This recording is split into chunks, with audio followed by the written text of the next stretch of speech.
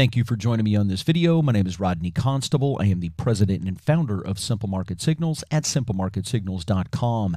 Simple Market Signals helps you understand both the direction of the trend and the level of risk in the stock market through our proprietary indicators that are emailed to you every weekend in our weekly stock market based newsletter all for less than $20 per month.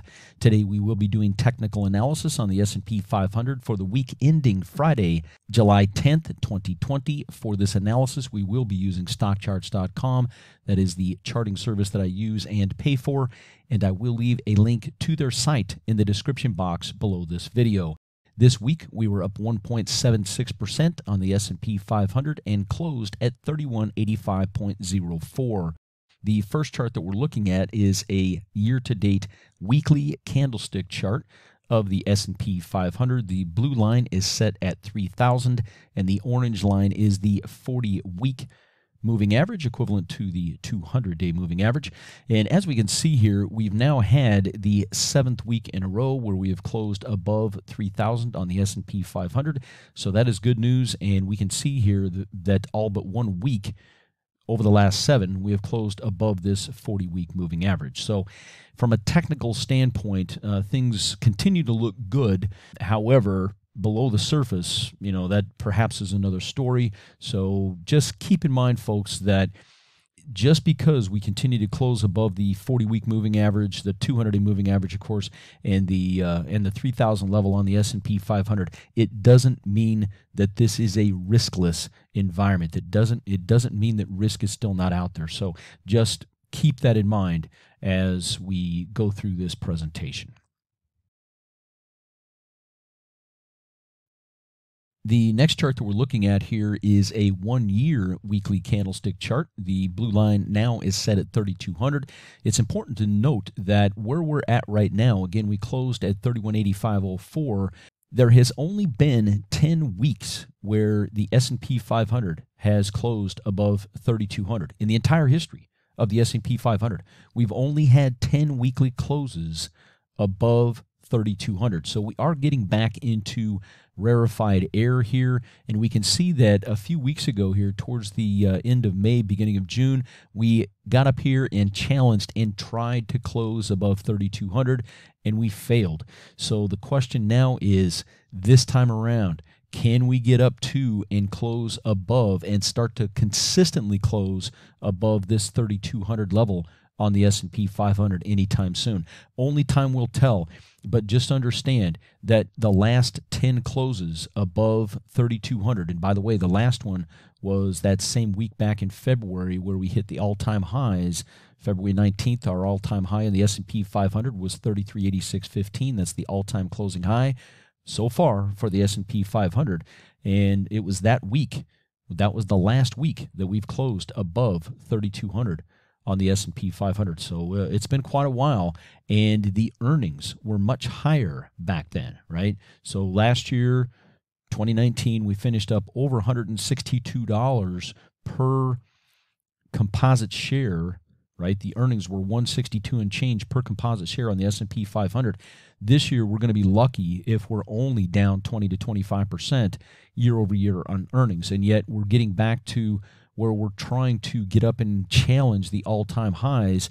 And again, we're doing it with a lot lower earnings per share than what we saw last year. So I hope you're understanding that it's PE expansion that is causing this. It's not earnings increases. And keep in mind, guys, there's only two things that go into a stock price the earnings and the multiple that investors are paying for those earnings. And right now, we have declining earnings for 2020 over 2019. So, therefore, the only way we're going to continue to get back up and challenge and perhaps get above this 3400 level which of course would be a new all-time high in the S&P 500 it's expanding multiples it's you and I and the other investors out there paying more and more and more for a dollar of earnings so just keep that in mind as this market gets up to and tries to go higher and tries to go above this 3200 level.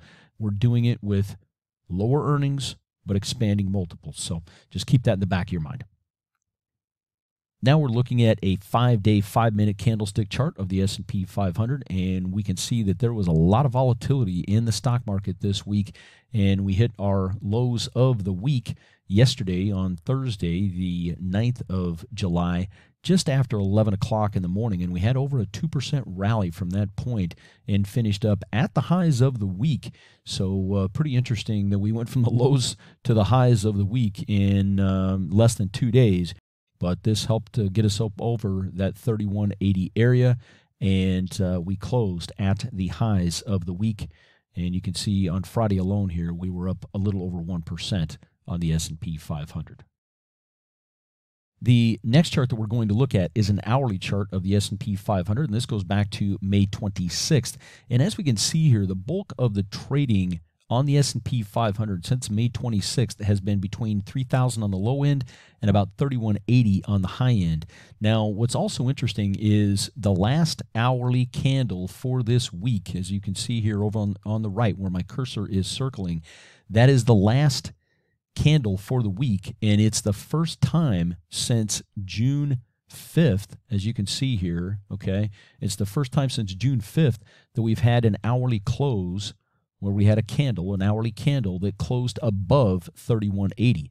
And as we can see here, we had a few days where we closed above 3180, got back and uh, actually hit that high candle, you know, since the downturn, right? This candle here that I'm circling has been the peak that we've hit so far since the downturn at uh, just a little over 3230 as you can see here over on the right and then we sold off from there so it will be interesting to see if we have now broken above and broken out of this trading range between 3,000 and 3,180. As you can see, it's been a real tough slog here to get up, get up over that.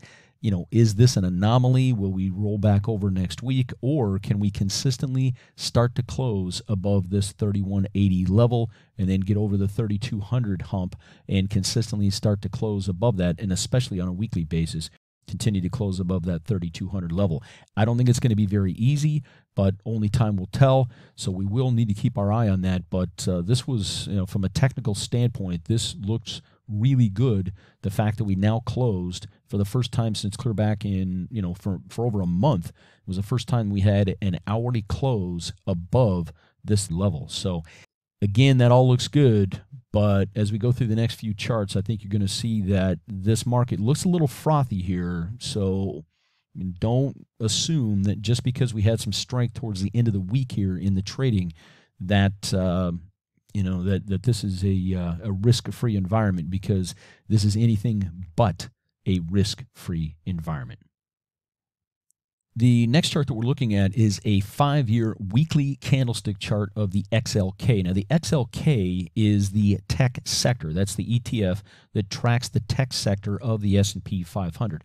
And the tech sector has really been the leading sector. Uh, it's by weight, it's the largest sector of the S&P 500, and it has had the strongest strength for quite a while in the S&P 500. So the XLK is really what has been leading, been holding up, been propping up the S&P 500. So it's important for us to understand what's going on with the XLK. Now, one of the things I want you guys to understand is we once again had an all-time closing high on a weekly basis on the XLK. So that's all well and good, but look at the gap. Look at how far above this 40 week moving average, the blue line where my cursor is moving. Look at how far above the 40 week moving average we are now trading on the XLK. That is a long distance. It's about 18, 19% above that long term moving average. And generally when you get that high like we were back in we're about the same distance above this on a percentage basis back in february you can see that's when you correct back towards the 40 week moving average. Now i'm not saying it's going back to the 40 anytime soon but it's something to keep an eye on. And you can look over the last five years you know you generally have a nice run on this xlk above the 40 but you know you're generally not this far above it okay? So we're pretty far extended above the long-term moving average. And by the way the green line is the 10 week or equivalent to the 50 day moving average. And you can see that we've uh, you know we've had a really nice run above that 50 as well. And uh, we're you know pretty far extended above the 50 day 10 week moving average as well on the XLK the tech sector within the S&P 500 so if the tech sector starts to roll over anytime soon, my guess is that that probably takes the rest of the market down with it. You know, might we have some sector rotation where other sectors uh, make up the difference? It's possible, but mathematically, it's not very probable given the fact that the XLK has the uh, you know the tech sector has the highest weighting within the S&P 500. So if the tech sector starts to roll over, more than likely that will be very negative for the S&P 500 at least in the short term. Now we're looking at a very similar chart, except now we're looking at the triple Qs, the NASDAQ 100. Again, this is a very hot, quote unquote, hot tech and biotech heavy index and it generally has very very good performance. But again you can see that the triple q's hit an all-time weekly closing high. Again this week we were up over 4.5% this week on the triple q's. Look at how far extended over the 40 week moving average the triple q's are.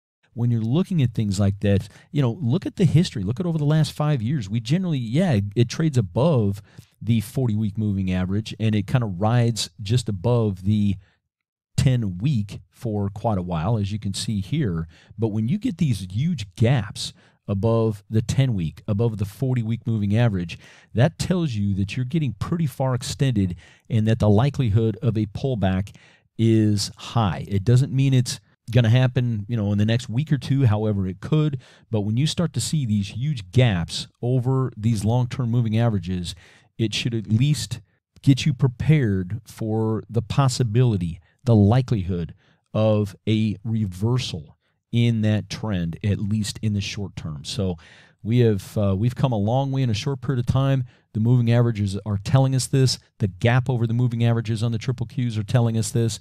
I think being a little cautious here and expecting a pullback at least to the 10 week moving average, if not to the 40 week moving average, on the XLK, on the triple Qs at some point in the not too distant future, I think that type of an expectation is going to keep you from getting hurt. We cannot expect these tech stocks to continue to rally at this pace. I just don't see that it's sustainable. The earnings, yes, tech is probably better than most of the other sectors. However, the earnings on the tech sector, from everything I've seen, are not keeping pace with the price appreciation in the underlying stocks. So caution is advised here. And the next chart that we're going to look at here is the five year weekly chart of the IWM. The IWM is the ETF that tracks the Russell 2000. And here we can see that the Russell 2000, the small caps here in the US, are trading beneath their 40 week moving average. Many of you maybe have seen this chart in the past. I show it on a fairly frequent basis just to point out that there's still a lot of underlying weakness beyond large cap tech. Large cap tech is about really what uh, what's been working, and a few other large cap stocks in the S&P 500. But the majority of stocks in the U.S., the majority of stocks around the world, are not doing all that well, and that's what's so important for us to understand. Breadth out there is not that good, guys, and we can see it here in the small caps. It's really hard to have a really strong, healthy, sustainable uptrend in the stock market if you don't have small cap participation. And we do not have small cap participation right now. The small caps, the Russell 2000, which is a pretty broad benchmark for the US small caps trading beneath the 40 week moving average. And at this price level, you can see if we go to the left, you can see that clear back in 2017 is when we hit first hit these price levels in the IWM, the Russell 2000. So we're trading at price levels that we first saw back in 2017 in these small caps, and we peaked in August of 2018 in the IWM. We came back and tried to challenge those highs in January of 2020, but we couldn't quite get there. We couldn't quite uh, match or eclipse the highs that we had made back in August of 2018. So, this right here should give you caution. We do not have good breadth in this market. We don't have small cap participation. It's large cap tech that has been leading the way, and that's great, except that really cannot make a sustainable stock market. We can't have a good, strong stock market with just large cap tech and a few other stocks leading the way. Now what we're looking at is a chart of the S&P 500 for the first 3 months of 2020. So January through March and I've annotated this chart with the simple market signals signals to show you how simple market signals can help you understand the risk levels and the changing risk levels in the stock market and how simple market signals can help you manage your risk. The simple market signals are green, yellow, and red. Green is the lowest risk level in the stock market. And what you're going to find is the stock market makes most of its upward progress when the signal is green. When the signal is yellow, that means that risk levels are starting to rise. And what we can expect in a yellow environment is sideways to slightly up or down price action. And the red signal is the worst signal in the model. And you're going to find that the worst sell offs, including bear markets, happen when the signal is red. So let's walk through this and see how this works. So we came into the year with a pretty strong stock market, as we know, and the signal was green for the majority of January of 2020. On the 27th, the signal went to yellow, and we had a yellow signal for about two weeks here. As we can see here, the signal went back to green for a few weeks. We know that we hit our all-time high in the stock market on Wednesday, February 19th, 2020, where the S&P 500 closed at 3386.15. And then we had this negative reversal that I had talked about in my newsletter to my subscribers. And I had told them that I did not like this price action because we did not have the follow through. We hit that all time high in the stock market. And then we had this negative reversal, sold off on Thursday and Friday. And so in the newsletter that went out on Saturday, February 22nd, I was warning my subscribers that I felt like something was changing and that they should be ready to take defensive measures and protect profits. And sure enough, the signal went yellow on Monday, February 24th. So I hope you guys are paying attention to how this can really help you manage your risk. And think about what happened here, okay? We hit an all time high in the market, and then just a few days later, the model showed that there was rising risk, and the signal went yellow on the 24th. Now, over and above the risk signals, I have trend indicators in this model the longer term trend indicator called the general trend indicator went negative the very next day on 225. Okay, so the signal went yellow, right, on Monday the 24th. On Tuesday the 25th, the general trend indicator went negative. So there's two warnings right there, right, that something is not right in the stock market. And by the way, the general trend indicator had been positive since October of 2019, okay, since early October 2019. So think about that. The signal went yellow. The very next day, the trend indicator went negative. That trend indicator had been positive for months. Okay, so there's numerous ways that simple market signals can help you manage your risk. So there's two things right there within two days that could have told people that they probably should take some profits, rebalance their portfolios, take defensive measures, buy puts, however you want to protect your portfolio, right? That's up to you. But you can see here how this is working. And then by Thursday, the 27th, the signal had gone red okay? And by the way that signal went red at around 3000 on the S&P 500 and your first warning came out at about 3250 okay? So and the second one came out somewhere you know around 3100 let's just call it 3100 so you had numerous warnings all within one week. You had a, you had a yellow signal you had a negative general trend indicator. Again that thing had been positive for months and then the signal went red. And as we know, the market sold off very hard from there. Guys, this is just one example, but a very recent example of how simple market signals can help protect you okay? And regardless of whether you're trading the s&p 500 the dia the triple qs individual stocks the correlations in the stock market is they're so high these days that if you understand what's going on with the S&P 500 and my model is based on the S&P 500 but if you can understand what's going on with the S&P 500 irrespective of what you're trading it will help you understand the general direction and the general risk levels in the stock market okay because as we know 70 80 90% of all stocks go in the same general direction as the S&P 500. So if we can understand what's happening with the S&P 500, it gives us a huge advantage in trying to manage our risk and protect our profits with our investments. Okay, a quick refresher on the Simple Market Signals weekly signals and how they can help you. The signals are green, yellow, and red. The green signal is the best risk reward ratio for equity investors. And what you're going to find is that the stock market makes most of its upward progress when the signal is green. Okay. The worst risk reward ratio signal for equity investors is when the signal is red. And what you're going to find is that bear markets and the worst downturns in the stock market happen when the signal is red, like during the 07 through 09 bear market, as we see here. So, again, the best risk reward ratio signal for equity investors is when the signal is green, and the worst risk reward signal for equity investors is when the signal is red. As part of the simple market signals model, there are three powerful indicators there's the Simple Market Signals proprietary risk level signal. There's the short term trend indicator, which helps clarify short term moves in the overall U.S. stock market. And a normal signal length for the short term trend indicator is anywhere from one or two days to seven plus weeks. Then there's the general trend indicator, which is designed to stay positive during the bulk of most uptrends and negative during the bulk of most downtrends. And a normal signal length for the general trend indicator is anywhere from two weeks to five plus months. We disseminate the information through the Simple Market Signals weekly newsletter. In the weekly newsletter, you will receive the proprietary risk level signal on the overall U.S. stock market you will also receive the proprietary risk level signal on all 11 major sectors of the S&P 500. You will also receive the short-term trend indicator signal.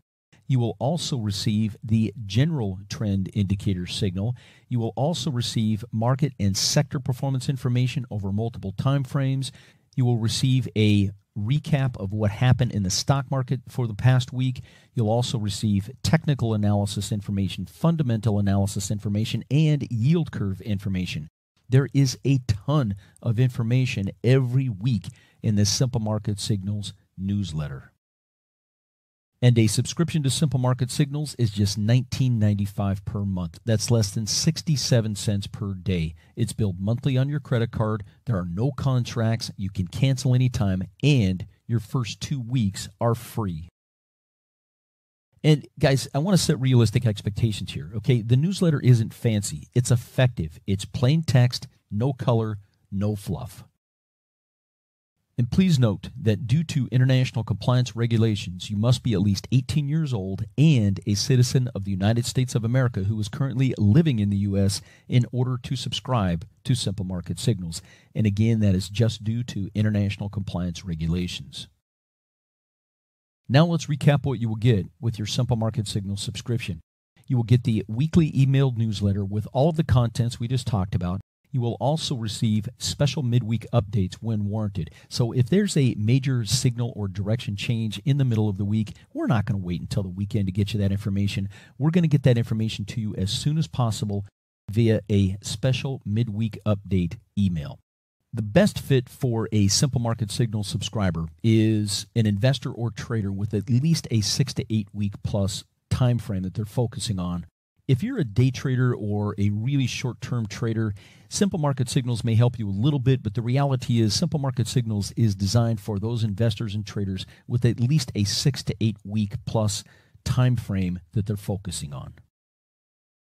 And if you would like even more information about how you can benefit from Simple Market Signals, I have the following videos that will be linked in the description box below this video.